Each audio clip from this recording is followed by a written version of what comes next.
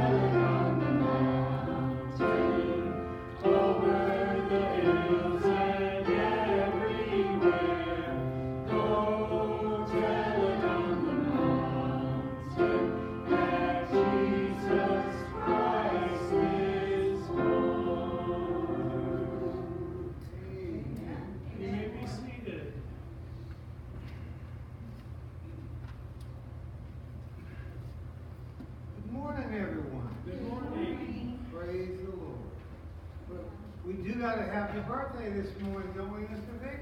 Yeah. Yeah. Just a. Elizabeth, he is no longer a teenager. Wow. That, that means you get old. She's only twenty. She's not that old. Somebody else was older than her. Anybody, anybody else got anything to say? Okay, well, let's sing happy birthday to Elizabeth. One, Oh,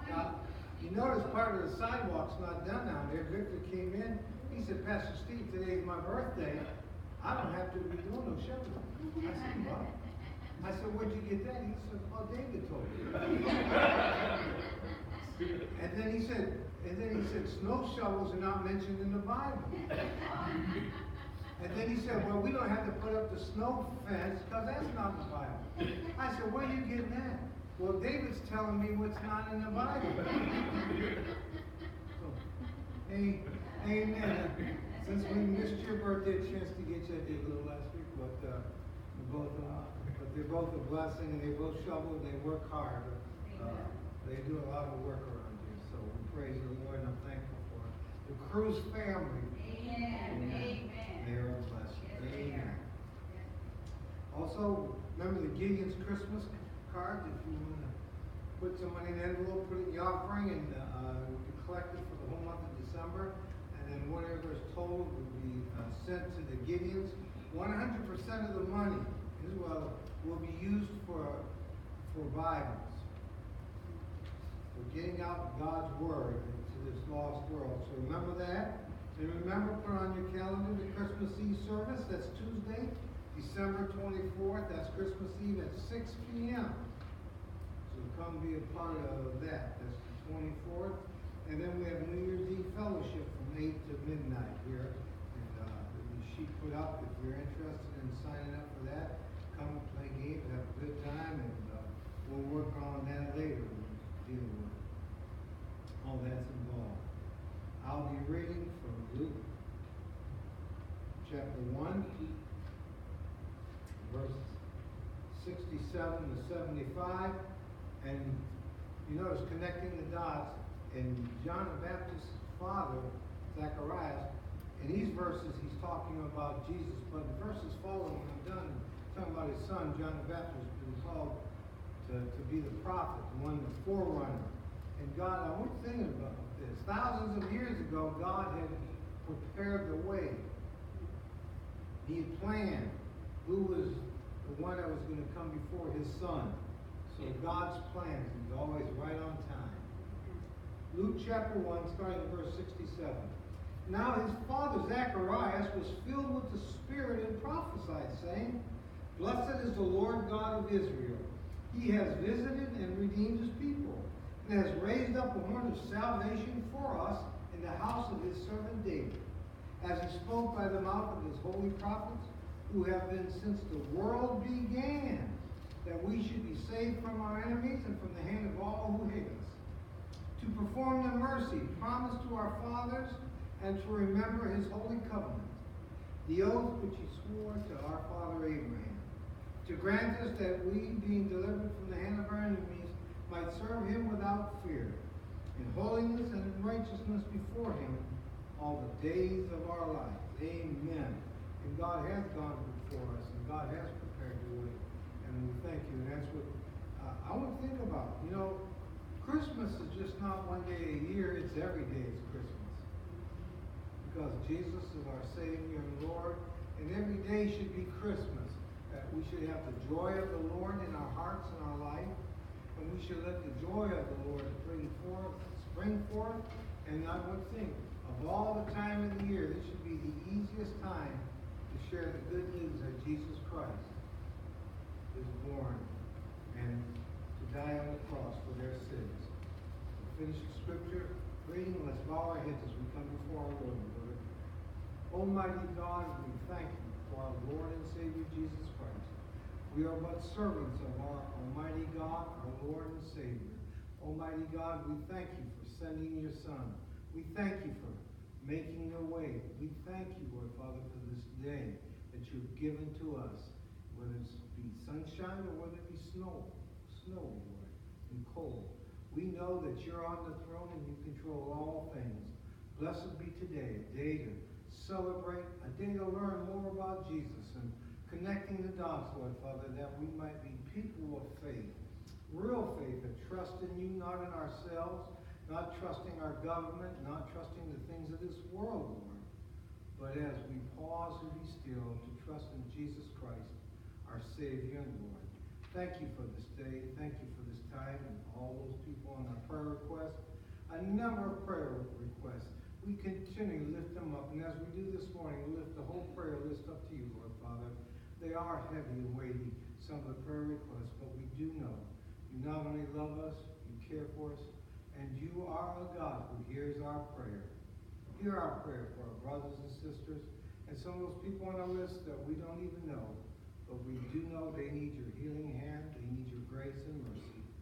Help each one of us here this morning, Lord Father, to celebrate with the joy of the Lord. And it's in his name we pray. Amen. Amen.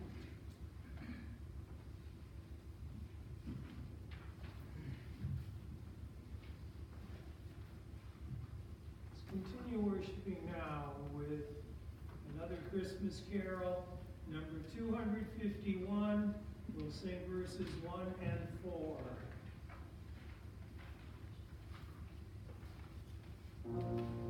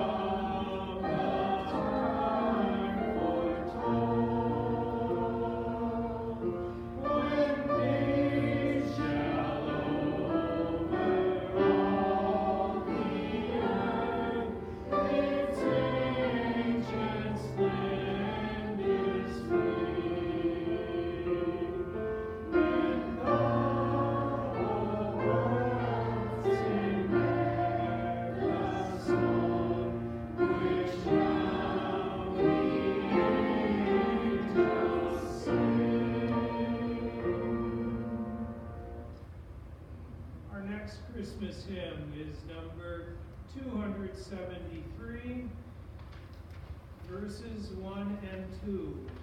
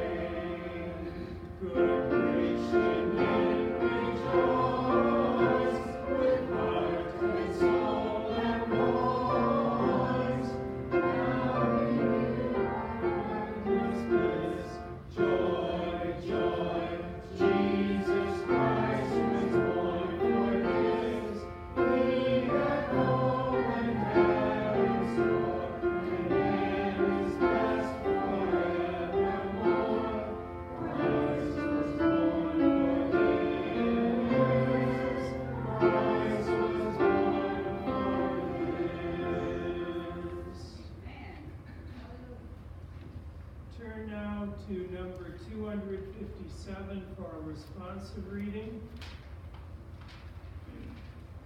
And with your finger in that spot, turn also to 252.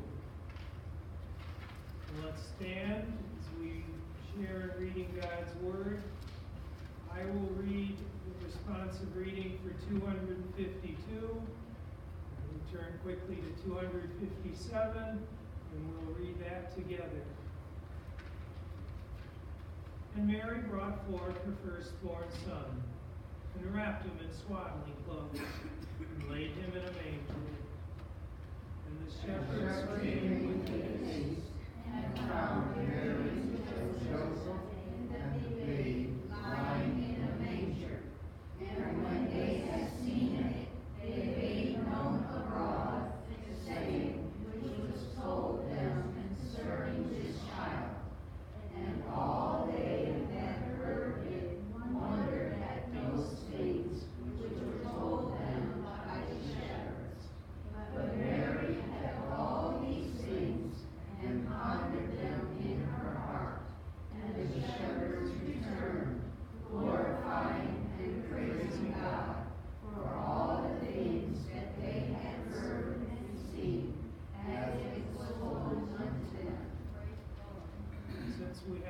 extra special before our offertory.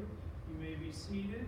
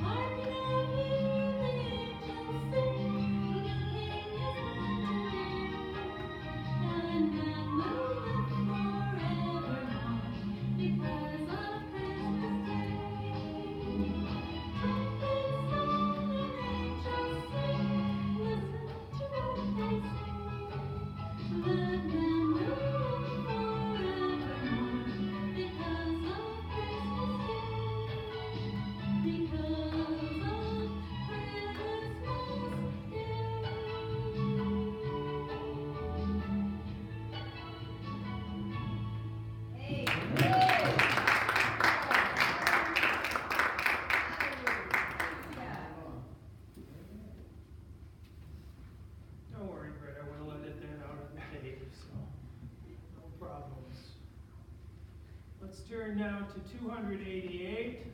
We will sing verses 1 and 5.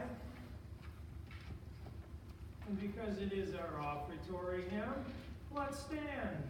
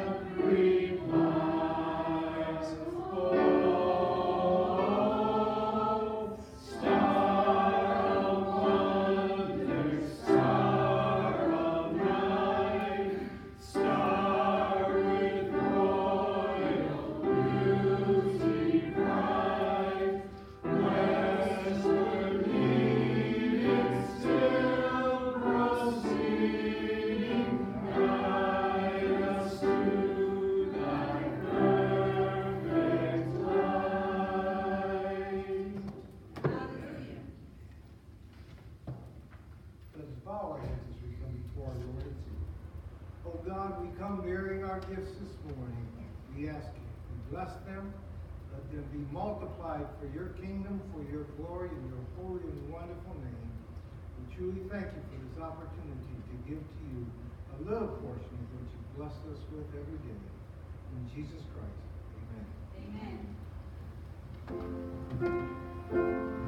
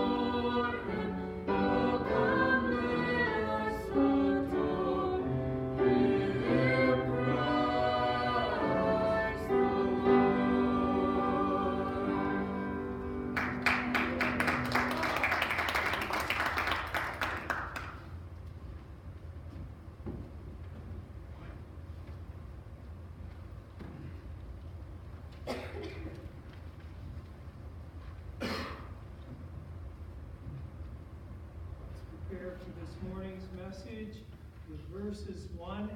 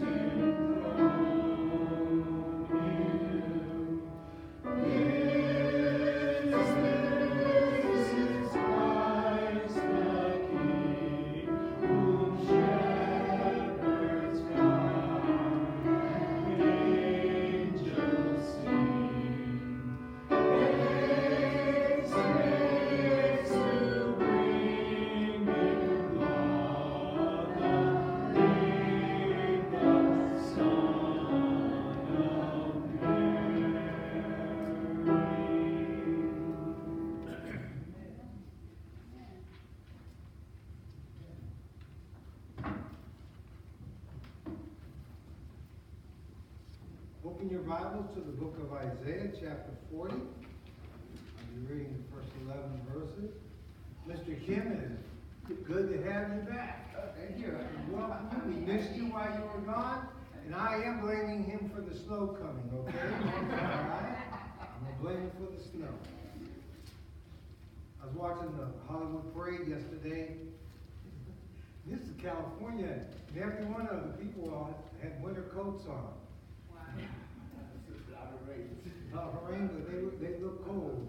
And I said, I bet those people are glad they're not in Michigan if they think it's cold in California. But, uh, praise the Lord and welcome you back, Mr. Kim. Connecting the dots, part three, there are a number of dots in this one, and really, there, there are over hundreds of dots that God had promised and prophesied about the one who is to come, and we're talking about Jesus Christ, just like that song we just sang, what child this is. We that know him, we know what child this is. But the world still wants to have happy holidays. Jesus is more than a holiday, he's King of kings and Lord of lords.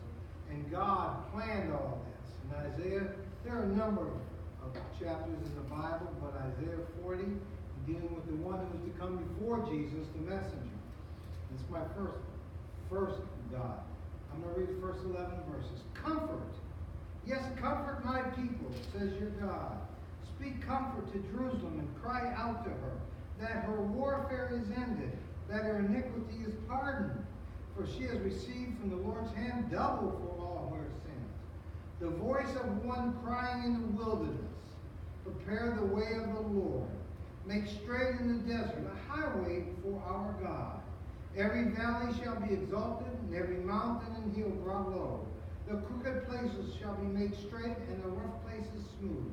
The glory of the Lord shall be revealed, and all flesh shall see it together. for the mouth of the Lord has spoken. And the voice said, Cry out. And he said, What shall I cry? All flesh is grass, and all of its loveliness is like the flower of the field. The grass withers, the flower fades, because the breath of the Lord blows upon it. Surely the people are grass. The grass withers, the flower fades, but the word of our God stands forever.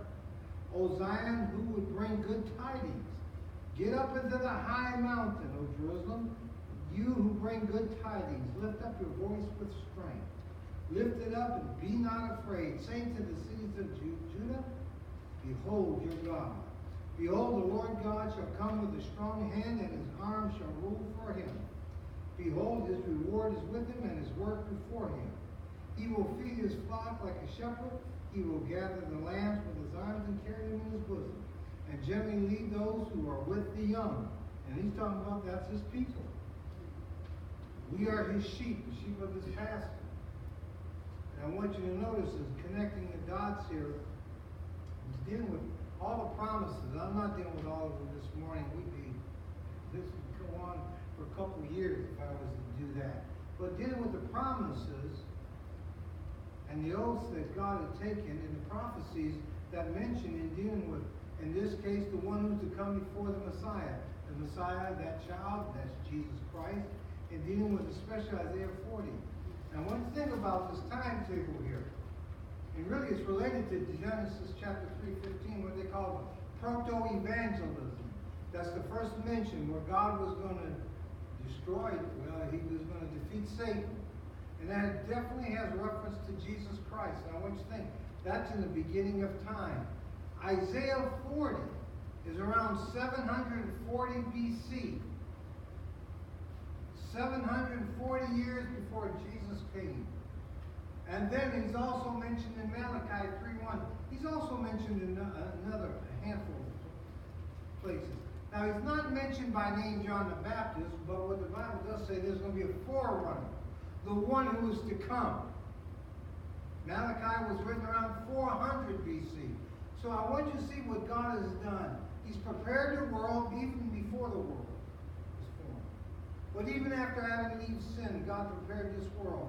And then to Isaiah, 740 BC. And then to Malachi. And, and then to the birth of Jesus. And we see the Christmas story in the Bible. But the one who's going to come when he's uh, preaching the gospel, the kingdom of God is at, hand, and repent. How God prepared that. And in all four gospels, John is mentioned as the forerunner. Matthew, Mark, Luke, and John. All four mention John, John the Baptist, the forerunner. Now, one thing, God so intricate and so personal that He prepared this world and He sent one. And He's talking about John the Baptist here in Isaiah 40. Now, it doesn't mention him by name, but we know as we look back, it was the, the one who was to come. In verse 3, the voice of one crying in the wilderness, Prepare the way of the Lord, make straight in the desert a highway. Notice, way and highway. In the biblical times, they had to make way for the king, make sure that the roads were good and they were accessible. There was someone that would come forward. And I want you to spiritualize this because he's talking spiritually here. When John the Baptist came, he came preaching. He came preaching Jesus Christ. He pointed everybody to Jesus Christ. He preached God's word. And that's why God's word is mentioned here, a few verses after these. Because it's God's word that stands forever. And God promised this. And through the various prophecies in the Bible, God used a number of prophets. And he used Isaiah, preparing the world, world for the coming of Jesus Christ. And that's what we celebrate today. We sing of him. All the Christmas carols and all the other, in, in our hymnal, we have great songs. Some, and even in our Christmas songs, there's some great theology. It's about Jesus Christ. And our lost world doesn't know him, and they need to know him. So Isaiah 40, Malachi speaks of the one who is to come. And before Jesus could come, God had sent John. He was born. That's why in the passage in Luke chapter 1 that I read before I prayed, Luke chapter 1, those verses, 67 to 75, about. Zacharias was, he was talking about Jesus, how God redeemed. Remember how all this started on December 1st, connecting the dots? Remember? Cleopas and his friend, they were coming, leaving Jerusalem, and they were sad. And Jesus stopped them and said, Why are you so sad? What's happening? He said, Well, Cleopas said, We thought this, we thought Jesus was the one who was going to redeem Israel. Simeon, when he holds up baby Jesus, he talked about this is our redemption. And John the Baptist's father, Zacharias, he mentions redemption. Redemption, God redeeming the world, redeeming us from our sins. And that's what Christmas is all about. I wanted to remind you. That's why Christmas is every day, because the gospel is for every day. The good news that Jesus Christ came. Just think, God prepared the world, even sent a forerunner. So as we look back, it's very clear to us. Even our lost world likes to argue and fight with us, but the Bible is very clear about who Jesus Christ is, who John the Baptist was the forerunner. Who he was, who he is, and who he always is on the throne. He's on the throne as I speak this morning. So, looking at the promises and prophecies of God, uh, prophecies that God placed in the Scripture, and I want you to think about this. That's why Abraham is so important. I'm getting ahead a little, little ahead of myself because I'm talking about Abraham in a minute. But remember, God made a promise to Abraham in Genesis 12. He said, Your seed's going to be great. Remember what happened? He didn't even have one child. And after 75 years of age, he had none still. When he had 86, he had a son, but that was not the chosen one when he was 100. But God prepared him, prepared Abraham. And I want to think, remember, all this takes faith. Just like the Christmas songs we sing, it takes faith. As I hope you look at the words when we sing our Christmas songs. It is. And it's by faith. And so my the second dot to be connected was Messiah was to be born in Bethlehem. Flipping your Bibles over to Micah chapter 5, verse 2. You know, Jonah, Micah, Nahum, Habakkuk, Zephaniah. Messiah was to be born in uh, Bethlehem. Chapter 5, verse 2. And you remember, that's what was exactly said. Remember when the wise men came to look at him? In Matthew 2? And, and Luke chapter 2, where he was born, verses 4 to 7, when the angels came, got the shepherds ready to in the fields of Bethlehem. And the angel directed them to Bethlehem. Because that's where the Messiah was to be born. The one who is to come. The one who is to be our Redeemer. We are bought with a price. Isaiah 5 2, I mean, excuse me, Micah 5 2 says, For you, Bethlehem, Ephrathah, though you are little among the thousands of Judah, yet you are, yet out of you shall come forth to me the one to be ruler, or the king, in Israel, whose goings forth are from old, from everlasting. Just think, before the foundations of the world, God had planned this, and God spoke this. And then through Genesis 3.15 through Isaiah, through a number of the prophets, through Isaiah, through Malachi, and now through Zacharias, through Simeon, and all those, there's a number of them dealing with the, the Christmas story picture. To be born. Remember when the wise men came after Jesus had been born? Matthew, they came and they went to Jerusalem and they said, Where is he who's born king of the Jews? He wasn't in Jerusalem, was? He was in Bethlehem. Even Herod knew that after he asked the religious leaders. The religious leaders says, well, he's going to be born in Bethlehem. And they didn't even send anyone, but the, the wise men went. Because God had touched their heart. God got to them how, I mean, on this journey, it was a journey of faith. Now, we think about that. A journey of faith. And that's what our life is, is it not? Amen. It's a journey of faith, a long journey of life.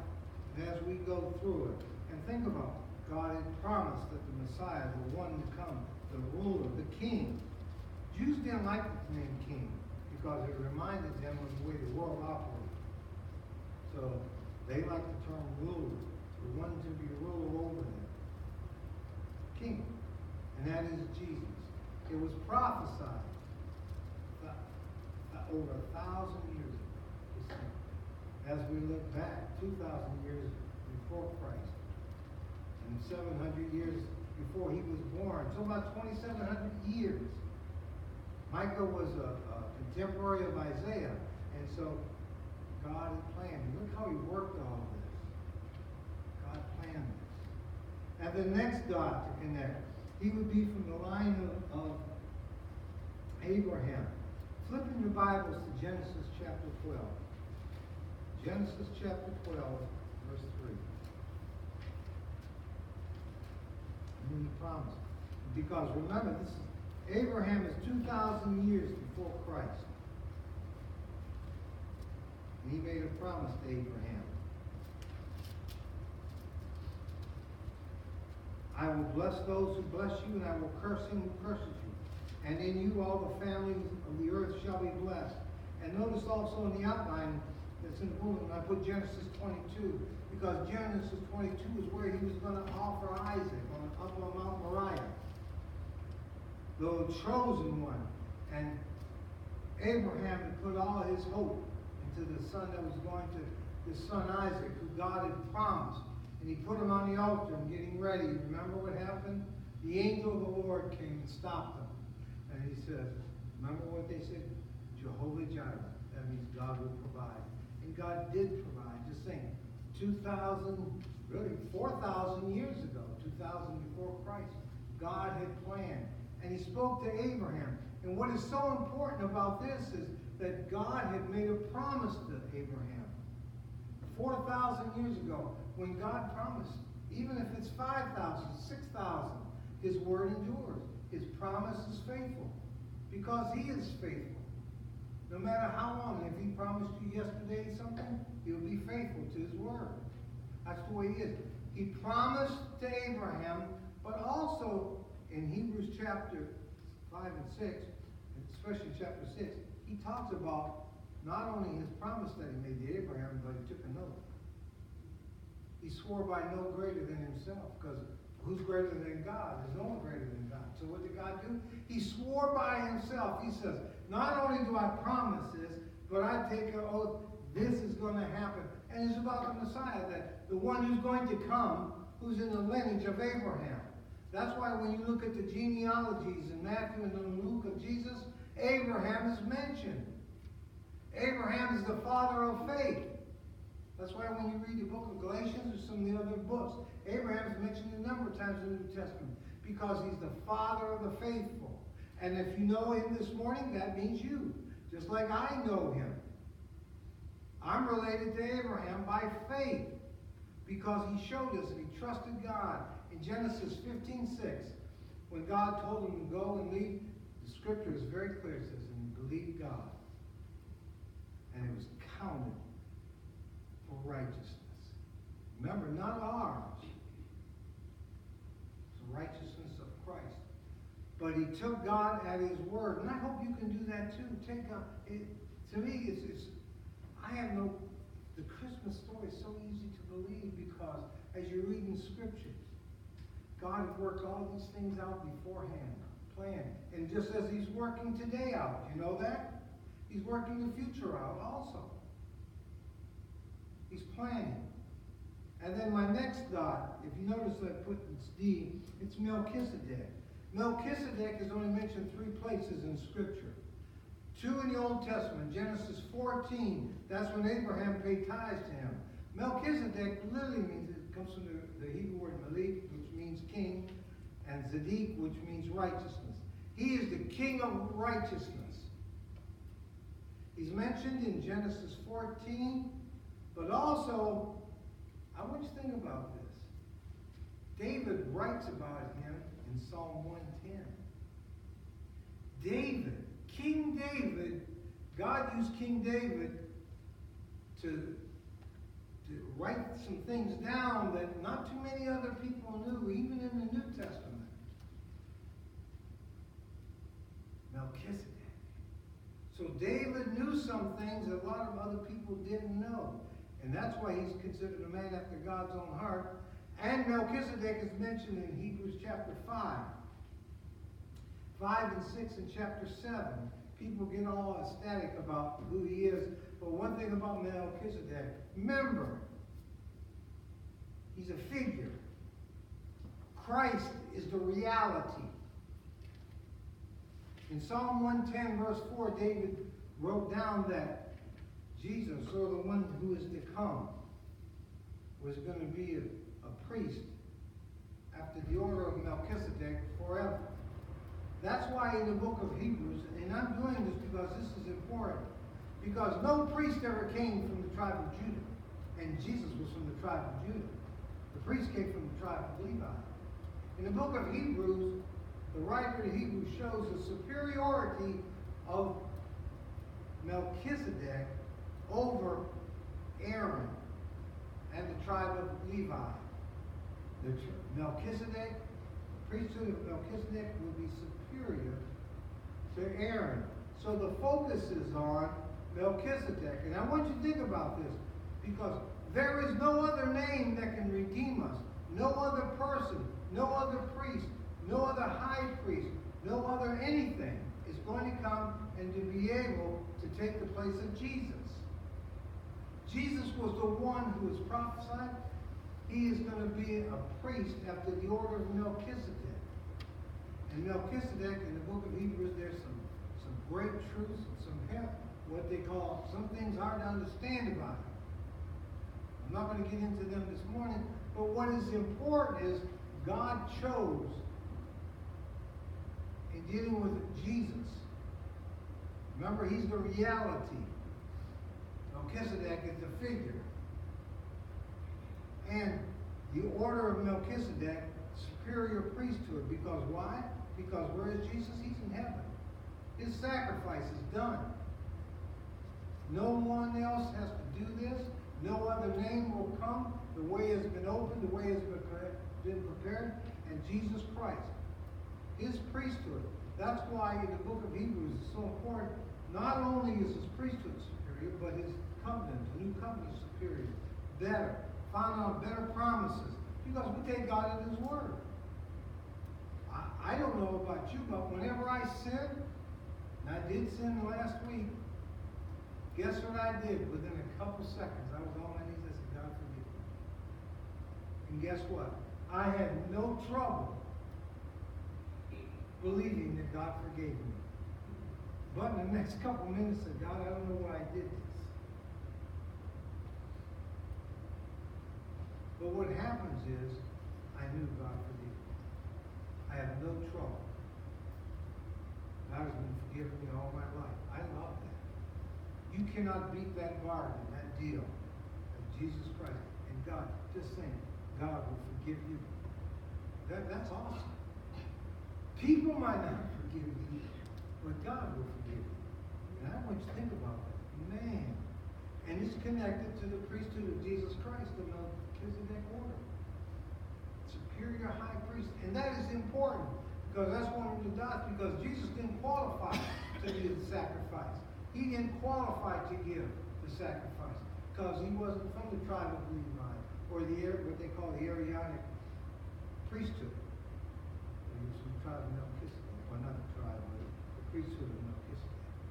And the next one I put down there, Don, is the Passover lamb from Exodus chapters 11 and 12. That Passover lamb. I want you to think of the power of the Passover lamb.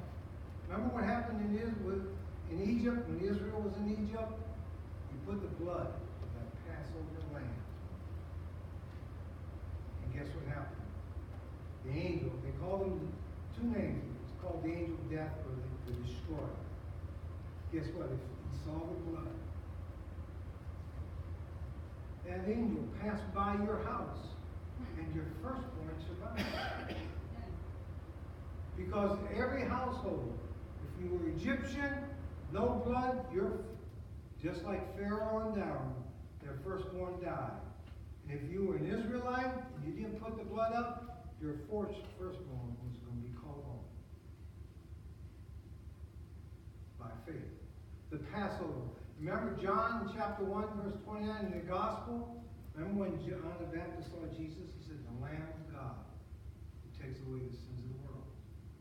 Now, we always need to remember, Christmas is about our sins being forgiven. Remember Second Corinthians five? So, Christ is our Passover. That's why we celebrate the Lord's Supper. But even more importantly, He's the Passover. It's Passover Lamb. It's First Corinthians. First Corinthians chapter five, verse seven. Is Christ is our Passover. Christ is our Passover. He's the Lamb, just saying, the Lamb of God. for the foundations of the world, God had planned. And Passover Lamb. And lastly, Jesus is King. Matthew chapter 2. Remember what happened? He rode a donkey in Matthew chapter 21. And really the other. He rode into Jerusalem. And they held him as a prophet, as a mighty man. And then within a week, they condemned him. But he was riding a donkey. And that was prophesied, I would think. Zechariah 9 9. It was prophesied that the one was to come would ride a donkey into Jerusalem. That's Jesus. There are so many. And as I close, I want you to think about this. How God not only has prepared the world for his first coming, and that happened 2,000 years ago, but you know, Jesus. In the book of Revelation, he's, the second time he's coming back. Remember the first time he came back as Savior? To save people from their sins. But in Revelation 19, it says he's going to ride, be riding a white horse. He's going to have a sword in his mouth. And that's the word of God. And what happens? He's coming back as judge. That's the thing. He has planned all this.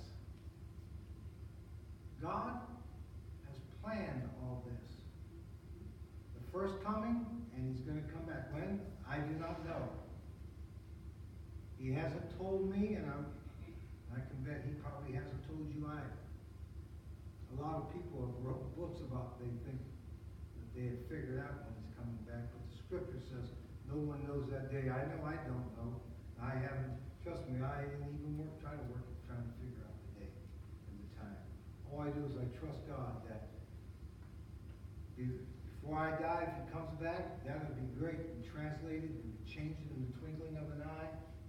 But rest assured, he is coming back. It might be another hundred years, and it is. You watch the news, you read the newspaper, and it is hard to believe that the world can go on another hundred years. But you know what? God might take another hundred years. But I want you to think in that time. It's the time to get the gospel out, the good news out. Christmas is every day. That they can repent of their sins and turn to Him. That's what Jesus wants. In Ezekiel chapter 18, God told Ezekiel, Ezekiel is one of my favorite prophets. He says, I do not desire the death of the wicked. And what do you think about that? God does not desire even the death of the wicked. He wants people to repent and turn to Him. So that when they die, they don't go into all of eternity separated from God because of their sins. That's what will happen. We have the gospel message, do we not? Jesus Christ died on the cross for. He was buried, then he rose. And guess what? He's coming back. He is coming back. I believe that. I don't know when. Could be my lifetime. The older I get, get old. But you know what? He might come back in my lifetime, and if he doesn't, then all of us here most likely will be dead and we'll be with him if you know him. Connecting the dots. You see, man, it's a pretty picture of who Jesus Christ is. There are many more dots. That's what Christmas is all about. Praising Jesus. Giving thanks to God for sending his son. That's what Christmas is all about. The Lamb of God who takes away the sins of the world. Have you let Jesus take your sins away? It's by faith, you know that? By faith. You believe the gospel message. So let's bow our heads as we close. Almighty God, we thank you for another beautiful Lord's Day.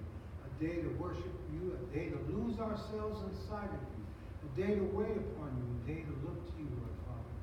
The the author and the finisher of our faith, Jesus Christ, that Lamb of God. Thank you, Lord. Thank you. Oh, Lord.